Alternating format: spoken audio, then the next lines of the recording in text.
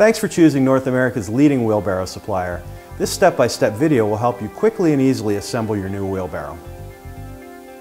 Before you begin assembly, lay out all the parts, the components, and the hardware and make sure you have everything you need. First step is to push the uh, tray bolts through the bottom of the tray. When doing this, make sure you use the nylon retainer clips that are included, one clip per bolt. Push the bolt through the bottom of the tray, then through the clip.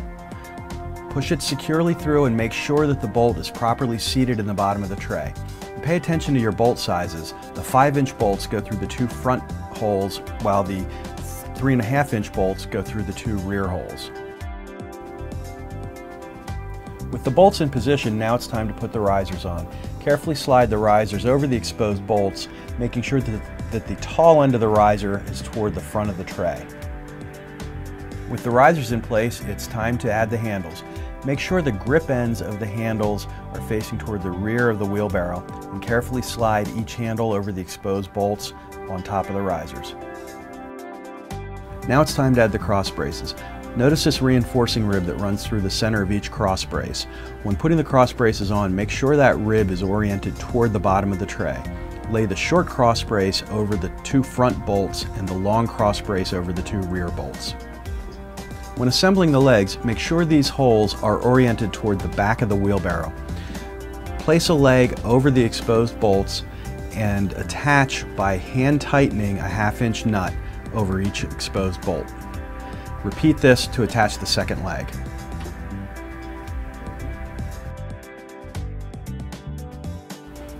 Now it's time to attach the Jackson leg stabilizers.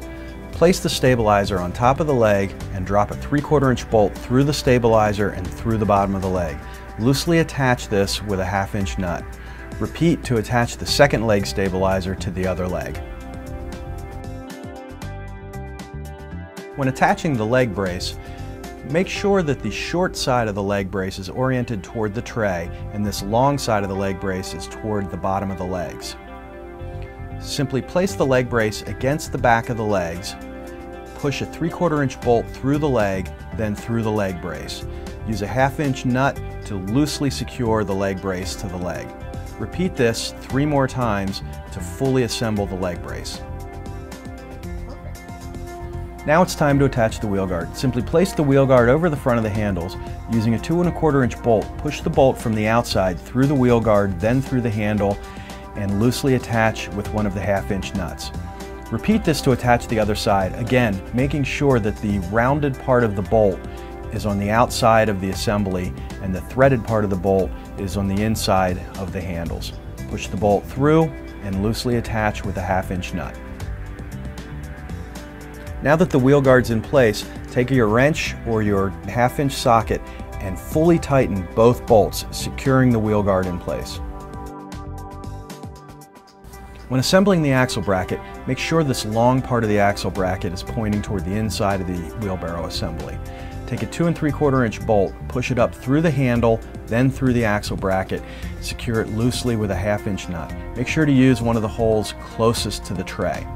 Then push a bolt up through the bottom of the tray brace, then take the tray brace and bolt, push that up through the handle and then through the front hole of the axle bracket. Again, loosely fasten with a half inch nut. Now it's time to put the wheel in place. Slide the axle completely through the hub tube and then take the axle and wheel assembly, place that in between the handles and push one end of the axle into the attached axle bracket.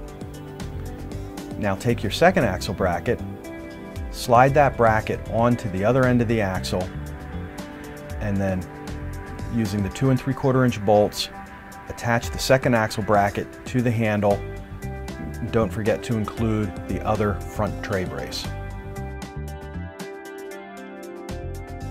Roll the wheelbarrow on its side and attach the top of the tray brace to the tray using a 3 quarter inch bolt. Push the bolt through the tray from the inside, then through the brace. Use a half inch nut to attach it. Repeat this to attach the second tray brace. Now it's time to position the wheel assembly and tighten the axle brackets. Press on the axle brackets to center the wheel between the handles. When the wheel's in the correct position, simply use your half inch wrench or socket and tighten all four axle bracket bolts.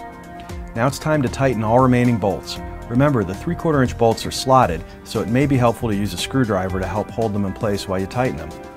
Once all the bolts are tight, the assembly is complete. That's all there is to it. You're ready to go.